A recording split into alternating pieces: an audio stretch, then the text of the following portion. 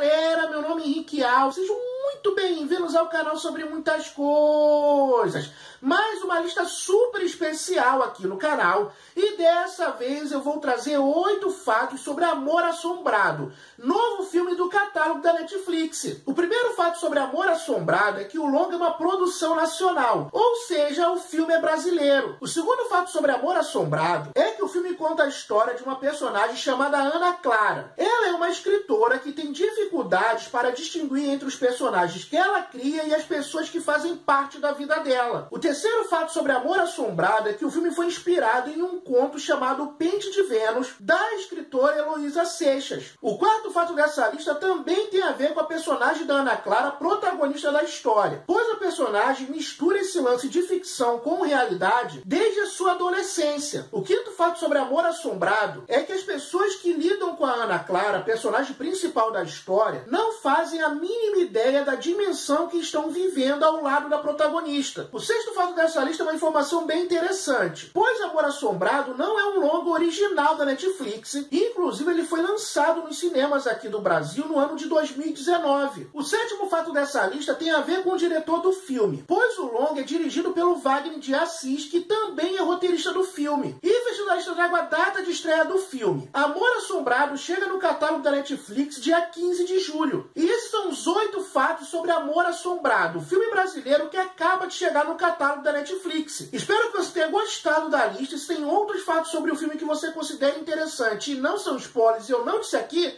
Pode deixar nos comentários, gostou do vídeo, curta o vídeo, compartilhe o vídeo, isso é muito, mas muito importante para o crescimento do canal. E eu sempre gosto de lembrar, se você curte descobrir todos os lançamentos da Netflix, é o canal certo para você. Pode se inscrever sem medo. Me siga nas redes sociais que é o TV.